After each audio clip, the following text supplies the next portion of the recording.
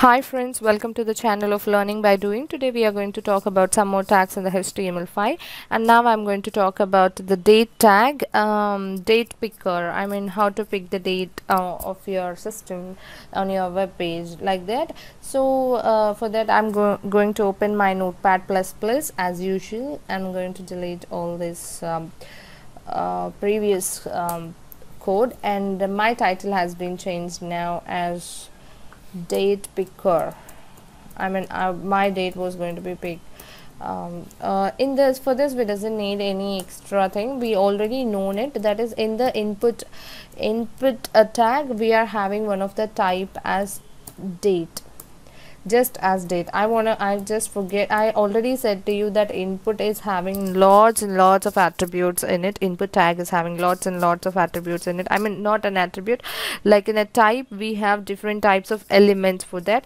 So i'm, I'm going to mention um, uh, like uh, whenever you whenever i get the chance of uh, telling that uh, so this is one of the input type uh, type as a date. And I'm going to copy this. We need uh, if we want to be set in a default value.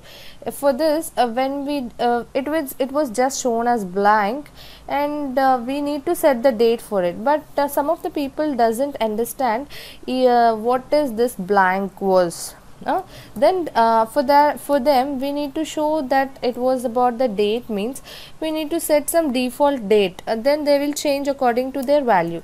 So i'm going to put i'm i'm going to display on that um, text box as uh, uh, it is 2017 uh, my date was 06 i mean sorry it was 03 right?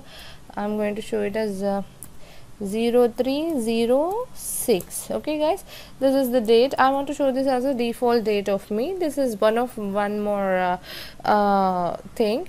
And uh, if if we are going to see in our mobiles or anything we'll gonna um, we'll gonna see uh, what are the future dates also. In 2017 when uh, when my birthday will come on thursday or friday or in 2018 when my birthday will come in 2020 we're gonna see like this. That means uh, they'll put put some maximum and minimum values of date picking? So here also we'll have one of the option that is how to pick the maximum value of your date and the minimum value of your date. I'm going to show you this here also. That is um the type of date we are having the minimum value should be as uh, i'm going to put the date here this one itself. This is the minimum value. I mean that is starting value of my date. Um, and we can put the maximum value also. Uh, maximum value as I'm going to put the same date uh, with uh, the month as with the month as um, what do you say with the month as 7 okay? Okay and what's going to be display as a value means um, uh, what's going to be displayed? The present date. We'll display the present date okay?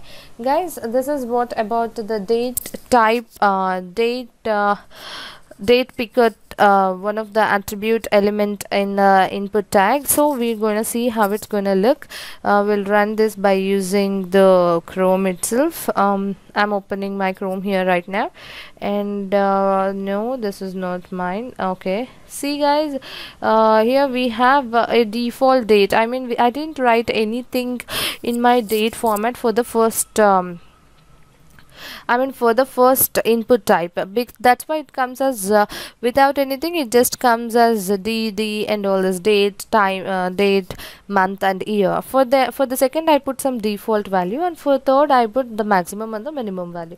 And for this if we if we can edit it here uh, if you want to change what date you want to display what is the date today and all this. See here 2016 2017 we can edit like this whatever we want. And if you want to show it will show it in this manner. Okay guys? And uh, for the second one also we can edit as usual. And if you uh, we can use these two upper and uh, lower buttons uh, shift uh, shift buttons. And we can use this directly uh, here itself whatever the date you want to put. But here we have one of the constraint right? The maximum value of the date and the minimum value of the date we are displayed. See guys i'm going to put uh, this is march 2017 i just put here as um, what i put in my notepad. Uh, this is march and i put was april may 4 5 6 7 april may june july. Up to july i have put there. So what's going to be display in my web page we're gonna see. After july we doesn't see anything i hope. Uh, april may june and july and we doesn't we i'm clicking on the uh, front arrow but i'm not getting the august because we are we are just uh, put our date to be in the minimum and the maximum values as uh, march to april uh, july itself. So i'm i'm going back also but we doesn't able to see the february and january because this is what uh, depends upon the setting the maximum and the minimum values of our date. Thanks for watching my video. I hope you are all understood. If you like my um, video subscribe to my channel